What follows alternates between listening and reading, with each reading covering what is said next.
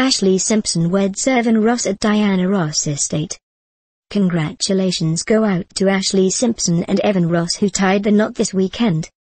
Nearly two months after the nuptials of big sister Jessica to Eric Johnson, Ashlee walked down the aisle at a ceremony held at the estate of Evan's mother, Diana Ross, according to multiple outlets.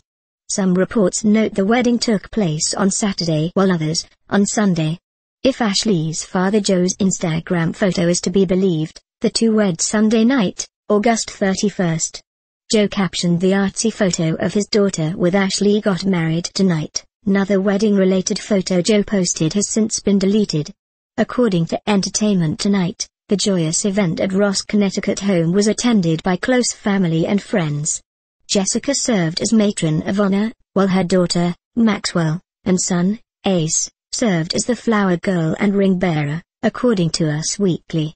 Ashlee's five-year-old son Bronx, from her previous marriage to musician Pete Wentz, walked her down the aisle, adds Us Weekly, noting that Ross' Supreme Mother performed at the ceremony.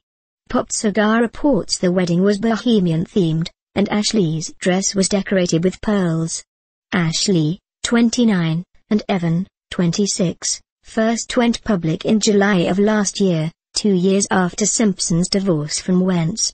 They got engaged in January,